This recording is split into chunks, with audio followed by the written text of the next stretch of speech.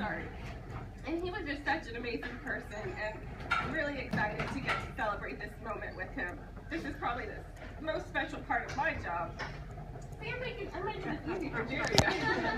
this is probably the most favorite part of my job because I get to share in success stories here. And when um, a time in my life when I was just a little bit down, I met Jimmy and Liz, his mother, and they really just brought me back up to where I needed to be. So I appreciate how you guys lifted me up. Uh, so anyhow, that's all I wanted to say, but I think Jerry's going to add a few words, and we'll take your picture. We'll, we'll show you all the picture, and then maybe James wants to say something too. Yes, I'm holding you. I would not recognize you out of this setting. You have been so determined from the first day that we met you. Exactly.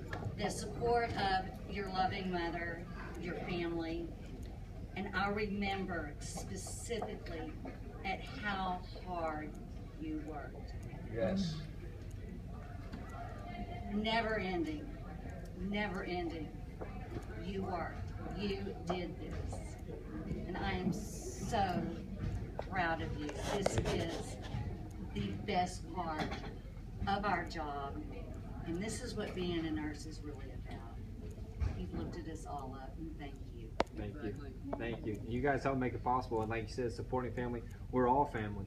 This is a big family. All the supporters. Obviously, there's some that could not be here today, but I still speak for them. And I wouldn't be not only here for the power of prayer from everyone, not only here, but all the way across the world, but also the support that you guys help possible. You guys motivated me. You're my motivation. I want to be like you, not because you're female.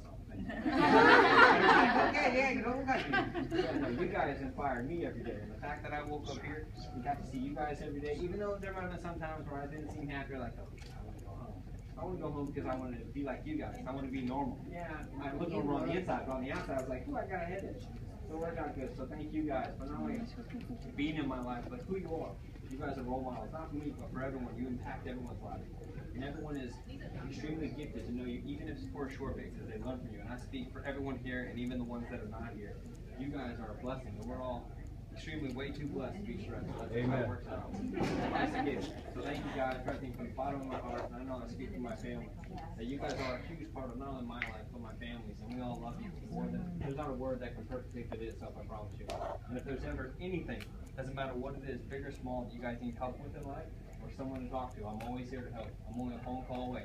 That's what I'm here for. So thank you. I can't thank you guys enough. Enough. I hope that Ah, I can't wait to come back. I'm already here. I'm like, I can't wait to get back. this is the best way, honestly. Not only because two years ago I got to come back here and not only surprise everyone because you guys hadn't seen me without my uh, without half my skull missing, but also got to come back here and meet new patients, help you know spread awareness and inspire them that you're the best place possible. You have no idea where you're, how blessed you really are. But also the fact that I get to come back on the start of my four-year anniversary, which is today.